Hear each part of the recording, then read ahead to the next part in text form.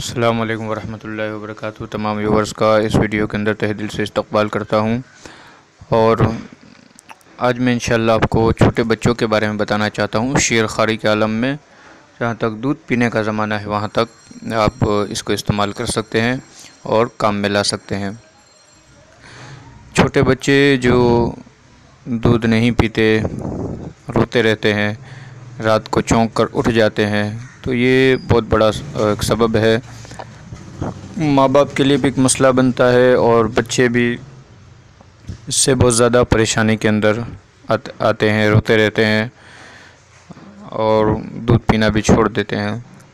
تو اس کے لیے ایک آسان طریقہ یہ ہے کہ آپ سور عصر والعصر کو آپ ایک کاغذ پر لکھ لیں۔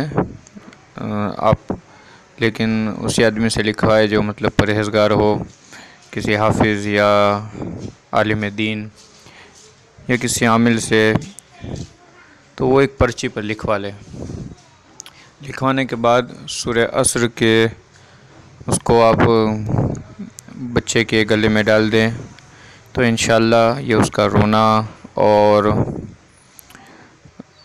ضد کرنا، رات کو اٹھنا، چوکنا یہ سب انشاءاللہ بند ہو جائے گا۔ اور یہ بہت ہی آزمودہ عمل ہے۔ اور اگر اس سے بھی اگر بند نہ ہو، بعض مرتبہ ایسا ہوتا ہے کہ آدمی کرتے پھر بھی بند نہیں ہوتا۔